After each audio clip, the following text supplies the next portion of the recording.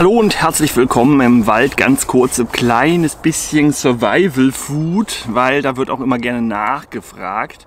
Was haben wir denn hier? Hier haben wir eine leckere, essbare Wurzel. Roh nicht zu empfehlen, gekocht hingegen durchaus verzehrbar. Und wo hängt die dran? Am Löwenzahn. Ne? Also woran man einem Löwenzahn erkennt mit diesen charakteristischen Blättern. Ich glaube, das muss ich jetzt wirklich niemandem erzählen. Es gibt durchaus verschiedene Arten von Löwenzähnern, die man so finden kann in der Landschaft, aber die sind alle mehr oder weniger stark miteinander verwandt und haben alle eben die Eigenschaft, dass ihre Inhaltsstoffe ziemlich identisch sind und sie haben ebenfalls alle eine bis zu zwei Meter in ganz seltenen Ausnahmefällen lange Speicherwurzel. Leider ist da so gesehen erstmal kein Stärke drin, sondern Inulin. Das ist ein Zuckerderivat, das wir so jetzt erstmal hm, äh, nur in kleineren Mengen vertragen, sage ich jetzt mal. Aber wenn man das kocht, wird das so weit aufgeschlossen, dass wir es im Magen dann ganz gut als Zucker zersetzen können. Das schmeckt dann daher immer noch nicht unbedingt süß, aber gibt Kalorien. Ja? Gibt sogar, wenn man in der Lage ist, viele Löwenzähne mit solchen Wurzeln auszubuddeln.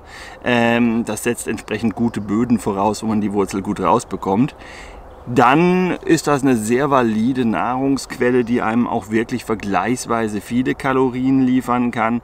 Und wenn man tatsächlich eine Stelle gefunden hat, wo man eben solche Wurzeln problemlos rausbekommt mit geringem, geringerem Aufwand, ähm, dann ist auch das Kalorien bekommen zu Kalorien ausgeben Verhältnis ein positives. Viele zwar Kalorien liefernde Wildpflanzen sind so mühsam zu sammeln, dass die Kraft bzw. die Zeit, die man benötigt und den Aufwand, um an die Dinger ranzukommen, gar nicht unbedingt die paar Kalorien, die man dann letztendlich davon bekommt, wert ist. Ja, und da ist Löwenzahn eben eine löbliche Ausnahme, wenn man so eine Wurzel rausbekommt. Wenn man den einfach ausreißt aus einem Standardboden, sage ich jetzt mal, ne, irgendeinem schönen, normalen, so ein bisschen am Ackerrand gelegenen Boden, dann kriegst du vielleicht so viel Wurzel und dann kannst du schon glücklich und zufrieden sein. Viel interessanter wird dann eben dieser lange, lange, lange Teil der Wurzel, der besteht, wie man hier vielleicht erahnen kann, wenn er das scharf stellen würde,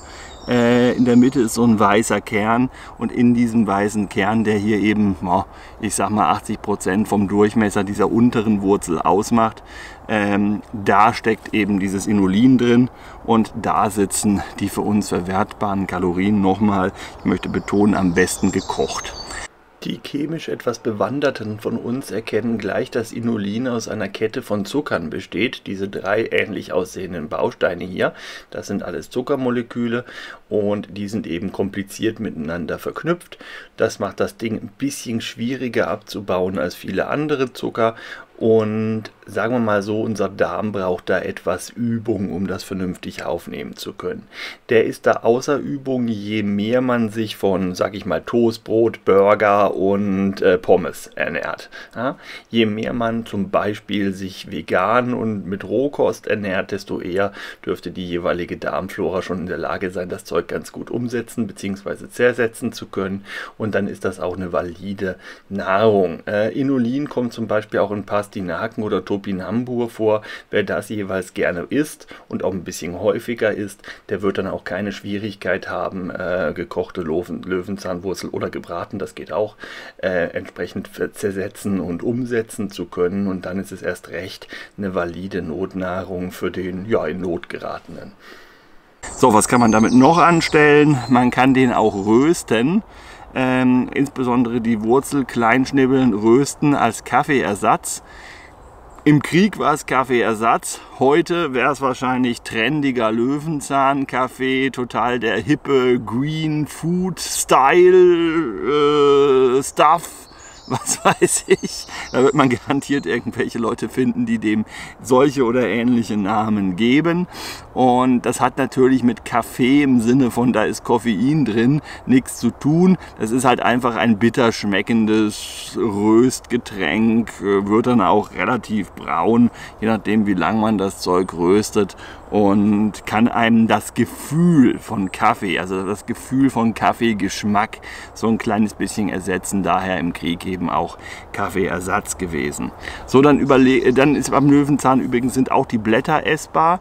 Die alten Blätter schmecken nicht mehr, die jungen Blätter dürfen durchaus als Salat gegessen werden, wer da Spaß dran hat. Allerdings, die Blätter sind natürlich nicht besonders kalorienhaltig, weil die bestehen im Wesentlichen aus Zellulose. Zellulose kann unser Magen-Darm-Trakt nicht verdauen bzw. nicht zersetzen und damit können wir daraus keine Kalorien ziehen. Ein paar Vitamine ja, ein paar Antioxidantien ja und diverse andere Flavinoide unter anderem, die im Löwenzahn drin sind, können wir auf diesem Wege auch zu uns nehmen.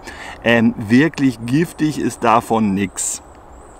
Zur Heilwirkung empfiehlt der Apotheker äh, in seinem großen Buch der Heilpflanzen, dass man den Löwenzahn insbesondere als Kur, äh, Frühjahrs- oder Herbstkur verwenden soll und eben die getrocknete Pflanze inklusive Wurzel sich als Tee aufgießen und davon einen Becher täglich zu sich nehmen über vier bis sechs Wochen, damit dann eben entsprechend die Niere und die Leber angeregt wird und ihre Funktion besser ausführen kann. Und das soll dann eben entsprechend eine Allgemeinbefinden fördernde Wirkung haben. Generell kann man vielleicht sagen, dass diverse Inhaltsstoffe des Löwenzahns die Leber in ihrer Aufgabe unterstützen. Das ist bei der Niere wohl mit ein bisschen Einschränkungen auch so. Neuere Studien gehen in Richtung, dass man guckt, ob man nicht mit Löwenzahn eventuell sogar Krebs zumindest etwas einschränken könnte, weil er eben in gewisser Weise die äh, Zellteilung von eben karzinogenen Zellen ein wenig beeinträchtigen kann. Aber da muss man vorsichtig sein und selbstverständlich immer erstmal zum Arzt rennen, insbesondere wenn man Krebs hat und nicht einfach nur Löwenzahntee trinken und denken, damit würde man sich jetzt heilen können. Aber das ist es im Wesentlichen. Ne? Näheres dazu ist dann bei einschlägigen Stellen noch nachzulesen. Ja, und wo buddelt man jetzt eben so Wein aus? Das ist eine typische Ruderalpflanze. Ruderalpflanze heißt, die kommt in unseren ja, Hinterlassenschaften sozusagen vor. Soll jetzt nicht heißen, dass die besonders auf, auf, auf äh, Klo und ähnlichem über Hinterlassenschaften wächst, sondern mehr auf Schutthaufen. Also wenn irgendwo eine Baustelle ist und nebendran gibt es einen großen Schutthaufen. Also Schutt oder halt eben Oderboden, der abgehoben wurde. Oder wenn man ein großes Loch gebuddelt hat und nebendran hat man einen Heu Häuflein gemacht. Äh, dann wächst der Löwenzahn, wenn eben seine Samen da ankommen, was ja nicht weiter schwierig ist durch diesen lustigen Fallschirm, den die ja haben, mit dem sie ja pusteblumenmäßig unterwegs sind, dann wächst er auf sowas wenn der Boden sehr locker ist, eben entsprechend auch nur locker verankert in dem Boden. Ja? Und wenn man dann eine ältere, größere Pflanze findet, die also wirklich so ein Büschel darstellt, wichtig, nicht versuchen hier irgendwelche kleinen drei, vier Blättchen äh, Löwenzähne rauszuziehen, die haben nur eine winzige Wurzel, da, da kriegst du nichts von. Das ist Energieverschwendung. Man muss wirklich nach den schön großen suchen und unter den schön großen Büscheln da dann halt eben ein bisschen die Erde auflockern und dann halt hoffen, dass der Ort, wo man gesucht hat, ohnehin schon eine locker genug Bodenstruktur hat, dass man dann solche Wurzeln da wirklich rausziehen kann.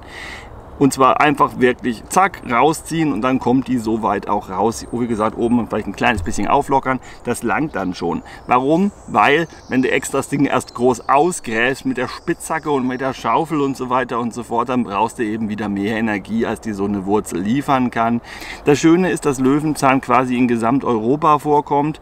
Äh, Im Süden wie na, ein Stückchen weit noch in den Norden.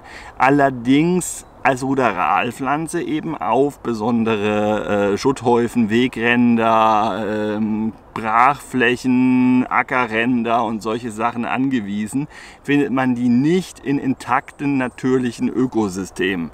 Soll heißen, mitten im Wald, in einem urwaldartigen Bestand, wird ein Löwenzahn eher nicht zu finden sein. Und für diejenigen, die es interessiert, in Schweden an irgendwelchen Seen, wo sich möglicherweise sieben Leute aussetzen lassen wollen, da ist die Chance, dass da viel Löwenzahn rumsteht, auch ziemlich gering. Das habe ich nämlich jetzt auch ein paar Mal gelesen, dass man davon ausgeht, dass man da was was weiß ich, wie viel Löwenzahn ernten kann. Unwahrscheinlich, ja, nicht unmöglich, aber unwahrscheinlich, ja. Mehr fällt mir zu den Dingen nicht ein. Ich hoffe, das bringt euch in irgendeiner Form ein bisschen weiter und das ist schon einer der Rekordexemplare, die ich bisher so gesehen habe. Ne? Also theoretisch kann die Wurzel noch länger sein. Die ist auch unten abgerissen, wohlgemerkt. Also die war noch länger.